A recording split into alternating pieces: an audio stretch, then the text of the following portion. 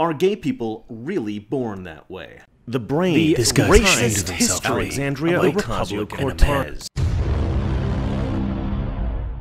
Welcome to Boomer Watch, a show where we look at boomers and just be dumbfounded, laugh, or become terrified. It is important to remember that being a boomer doesn't imply a specific age. Boomer is a mindset. So I'm just getting that out of the way. The distinguishment between lowercase and capital B boomers.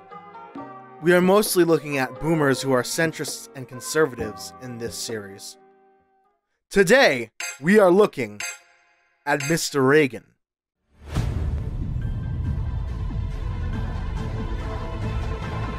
If you can even believe it. The mastermind behind it all.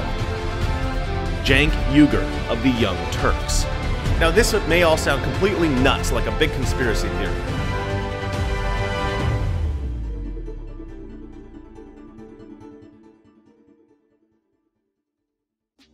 So, how do you describe Mr. Reagan? He's like Alex Jones, but for terminally online boomers who don't want to admit they agree with Alex Jones. And he also really, really loves Ronald Reagan. I, I, I don't know if you could tell that. If you've seen one conservative YouTuber's arguments, you've definitely seen them all. The real kicker here is that he has nothing going on for him except a confirmation bias for his audience. That's it. His content is so lazy and so mediocre. Well, if you're trying to reduce crime, right, you. No, what are you saying? What are you saying? What are you saying? What are you saying? Why do boomers accept this? He's clearly unscripted, Have the same condition, but who claim to because they want to, or for, for some other reason. unprepared, People and crime, which I was completely dismissing the brown people comment. And I think that this is an example of the problem. unprofessional. AOC is why I now say I think that the right wing person prides himself or herself on pragmatism. and just regurgitating talking points he heard online or on Fox News. Speaking of douchey and evil, look at this guy. Look at him mansplaining all over the place. Disgusting. That's you, men. That's all American men. Recently, his popularity has spiked due to getting a shout out by none other than Glenn Beck himself. happening with uh, Ocasio Cortez, and I don't know if you've seen the uh, the video by a, a new guy called Mr. Reagan online, but he did an expose on Cortez that's a little a little frightening on what's happening behind the scenes. This is for his video on AOC apparently being an actress and not a politician? Yeah, it confuses me too. But we'll get there, don't you worry. His talking points, as I said, are the same as every conservative. He tries his hardest to be clever, but unfortunately for him, he's not. For example, he did a whole video of him saying the Republican Party's history is racist, and then at the end did a switcheroo with the Republicans and Democrats. I think I forgot today's opposite day. Yeah. So everything I just said about the Democrats, that's that's actually the Republicans. As most people know, after the 60s, the parties changed sides. But you know, he doesn't care about after the 60s. Just forget the Southern strategy and all, you feel me? He also tries super hard to own some libs at a women's march. But again, he's not good at what he does. I, I feel that abortion should be legal and free for everyone to have if, if they need to have it. I'm also here for immigrant women. I'm here in support of women that are immigrants that are crossing the border right now, that are being pushed back and are being mistreated with their children. Illegal immigrants? I, I don't call them that. I'm not in support of the wall. I think it's a, a very useless way to protect the border. There are other ways to protect the border. So you think it's ineffective? completely ineffective and outdated. Would you be for taking down the walls in prisons then? Because we typically use walls primarily to hold No, prisoners. two different things. Two different things. But those are effective. Uh, those are not walls. Those are prisons. He managed to cash in on the Gillette short film craze, where he also displays his lack of understanding of film language and visuals. No, seriously though, bullying is really bad and mean. Okay, is this kid who's hugging his mom calling her a loser and saying everybody hates you? That's kind of mean, kid. I don't. And how do they not see these other kids running through their house? Do they just not care or Which, for a writer slash actor slash director, is a pretty bad look for your cred there, bud. I mean, it makes perfect sense. Just look at his short TV series.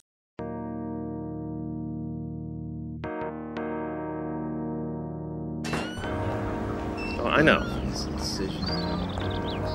The problem is I've already made a deal with your opponent, and you both can't win. yeah. Listen. Okay, okay. Hillary, stop. So you're probably wondering why Satan is wandering around the Mid Wilshire district of Los Angeles. Well, Watch where you're going, bonehole. Bonehole. Bonehole. It is fucking show. Hey, here. I saw what happened. What a jerk. Oh, yeah, yeah. Thanks. Look, that's really not necessary. No, no, it's my pleasure. I mean, I just feel horrible seeing. Women just throw themselves Wow. into Satan character. What is your shirt? Like, stained sister? I don't know about you breakfast. You're clearly having a bad morning, and I'm a big believer in karma. Yeah, there's no such thing as karma. What? This show is really inconsistent with its audio. Stay tuned. He doesn't fix it until episode 3. But back to the ad. He just narrates over the whole thing, and it's so fucking boring and unfunny. How are people entertained by it? I think with his film skills, his lack of visual comprehension is genuine. We had to stage this because we couldn't find any archival footage of men harassing women, so we had to invent some. Women were never harassed on TV in the past. Well, here's a link below that there are very recent, uncritical examples of women being harassed on TV. But genuinely, is the lack of comprehension for the sake of being obtuse? Or is it genuine idiocy? I seriously can't tell. No, for real, I can't. This is over 1 million views? What the fuck? This is the laziest content. Holy shit. This blew him up. What the fuck? How is this content? Who finds this fun? How is this even funny? Let's take a look at his comments. First, in the aforementioned Gillette parody, is our good buddy, Sargon of Akkad. Famously left wing, Carl Benjamin, here agreeing with conservative internet pundits. I mean, what else is new? This isn't the only comments we'll talk about. Here's some from his video called Different Types of Democrats. You can really feel the boomer in these ones. I can't stand Hillary, Obama, Soros, Bush and Bush and Cheney for 9/11. I'm also anti-feminist. I've known so very manipulative women in my life. They're freaking everywhere. Men watch your back, scold, thinking money grabbers don't care how they hurt or ruin your life. You have good, cogent thoughts, but your videos are too long, so I stopped watching them. Hint, less than 12 minutes is good. Then I can watch 5 per hour. This sure is a lot of boomer brain rot. I won't watch one 30 minute video, but I will watch five 12 minute videos for an hour. Oh, yeah, by the way, he's a huge homophobe. Shocking, I know. Don't believe me? Here's a video where he compares gay people to pedophiles and the mentally ill or physically contagious. Are gay people really born that way? What Jimmy didn't know was that Ralph was sick. A sickness that was not visible like smallpox, but no less dangerous and contagious. A sickness of the mind. You see, Ralph was a homosexual. Holy shit, dude. Even most of the Republicans have moved on to targeting trans people. You're behind the eight ball on this one. Point. Certainly Elizabeth Warren has done this with her, you know, whole I'm an Indian claim. Which, by the way, the whole Pocahontas thing, hilarious. Holy shit! Holy shit, he's so smug with that one. He thinks he nailed it. I'm gonna fucking die. Is supposed to be about loving people despite the fact that they might do something that you don't approve of or you think is sinful. So this wasn't very Christian like of the Christians. That said, I, I don't necessarily think it was completely unprovoked. Anyways, here's an attempt at comedy from him. Fair warning, this contains audio and footage of Nazis in an attempt to make a really dumb joke.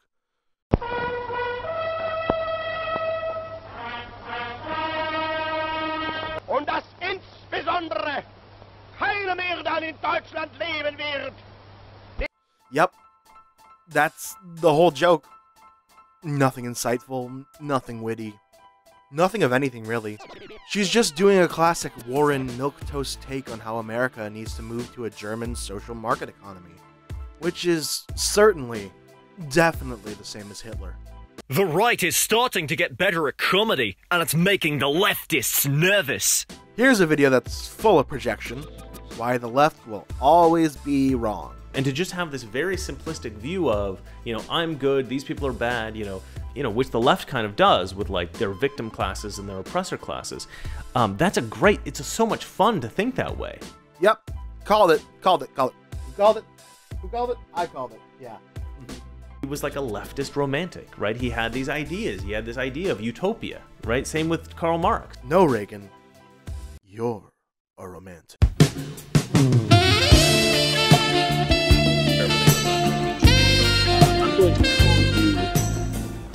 I'm going to call you Farah.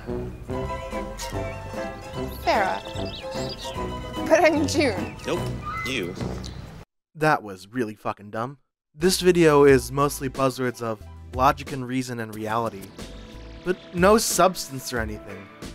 Let's watch this clip that really showcases it. Different kinds of groups that aren't traditionally considered conservative are joining the Conservative Party because of rationalism. Rationalism! I didn't know conservatives were big fans of Spinoza and Descartes. Both American parties are based on the pretense of liberalism and empiricism, so this is pretty funny. It goes against the way he presents himself, but in reality, it's what he's actually believing in by asserting without evidence. It's some funny shit. Now to the main event! His 2 million view video on AOC being an actress. He, he does realize who he named himself after, right? She defers completely to her team. This is a serious claim, I know, but consider the following evidence. This is a video of Corbin Trent, one of Alexandria's top advisors, speaking with Zack Exley, the Saul Alinsky-style strategy expert who organized much of AOC's campaign. Corbin Trent is now Alexandria's top congressional aide. They make up 40%. Uh, well, people that make uh, $19,999 a year or less. So people that make $20,000 a year or less uh, make up right around 30, 40 uh, percent of Americans, right? So it's 40 percent of Americans make less than 20,000. Yeah, yeah. It's Yeah. like 60 million people make less than th- than $20,000 a year. 200 million Americans make less than $20,000 a year. That's 40% of this country. These guys are coaching her. They're scripting everything she says. I will give credit where credit is due. He is right about how politics are mostly just about appearances. What he forgets to say is that this is all of politics, not just the Justice Democrats. There are always people doing work behind the scenes, like your crappy cameraman. Oh, for fuck's for fuck's sake, just keep keep keep the camera in focus. Keep the camera in focus. Fucking hell, it's not that hard. Put it down if you can't do it. Back to behind the scenes, we have the issue of what information she's being fed. I'd, I'd like to add that um, you know there is a um, there is a um, a certain website that's also I think it's also in cahoots with um, AOC and Zack Exley and the AOC campaign. It's um it's the Daily Caller. They also report this. A casting call. They had a casting call. They cast Alexandria Ocasio Cortez in the role of Congresswoman. And they did this so they could promote their own agenda. The overall point of a grassroots campaign is that every candidate must be in a collective agreement on policies. Why would a progressive campaign recruit a libertarian that supports flat tax rate? Or a conservative that supports giving tax cuts to the rich? Or any candidates that don't even support Medicare for all? The man who hired him to head up the Justice Democrats will horrify you, if you can even believe it. The mastermind behind it all Cenk Uygur of the Young Turks. Now, this may all sound completely nuts, like a big conspiracy theory. oh, holy shit! He thinks Cenk Uygur is the fucking mastermind behind the new wave of democratic politics. Like he's pulling all the strings! Back to the casting call thing Mr. Reagan mentioned. Because a candidate was interviewed by an organization and suggested to an organization doesn't make her an actress or undoes her political activist past, especially in her work with the Bernie campaign. Speaking of Bernie, Geniuses. He brought in the top guys from the Bernie campaign. The Bernie campaign was unprecedented in their grassroots success. They were brilliant. I actually did a lot of research on this, and the keys to their success are equal parts nefarious and creepy. Why is this clip included? Uh, why does this clip even happen? I, I don't understand.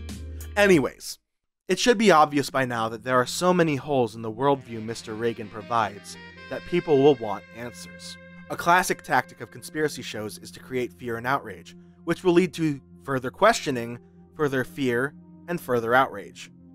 His viewers will want answers, and we have an idea of what those answers might be. In his older content, Mr. Reagan has a more familiar right wing YouTube style, not directly aimed at boomers. In one of his videos, a compilation of how various online creators got red pilled, he features some familiar faces. Blonde in the Belly of the Beast and Brief a Show. I've talked before about Brief a Show and her transition to being a full alt right YouTuber, but if you weren't aware, she does make a series called This Week in Alt Right. She's a Nazi, pretty much, which has me questioning things. Like, holy shit. Like, why does he have the fucking echoes around his live stream title and thumbnails for his streams? Holy shit, this puts a whole fucking new spin on the Bernie being nefarious comment. Mr. Reagan does not answer these questions outside of personal anecdotes. And you have to wonder why. Is he really that much of a buffoon? Or is it a tactic meant to incite fear? The fearful mind is one that's open to extreme solutions, and Christopher Patrick Coles might have an answer deep within his content. Sorry for getting serious there at the end, but uh, thank you for watching. I'd like to shout out to all my patrons on the list, especially patrons in the past who have left because of my hiatus. Um, I'm really sorry. I'm hopefully back now. Um, please uh, donate to my Patreon if you can. A dollar helps. Any amount of money helps. Uh, there's also um, my Twitter. You can follow me at an actual joke. I'll just subscribe. An actual joke. Click the bell and uh, hopefully I'll see you within the next week for a new video. Thanks. Bye bye.